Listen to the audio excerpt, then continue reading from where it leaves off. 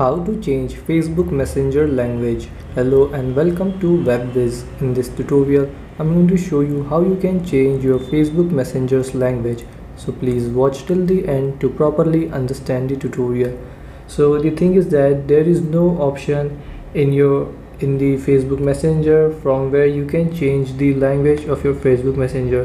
To change language, you have to change your phone's language and then your messenger's language will also change so open up your phone settings and then search for language.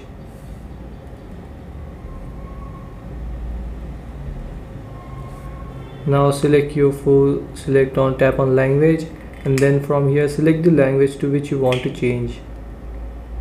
After selecting open your facebook messenger app and now you can see my language is changed.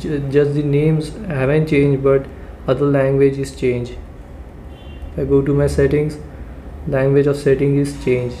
So this is how you can change your Facebook Messenger's language. Thanks for watching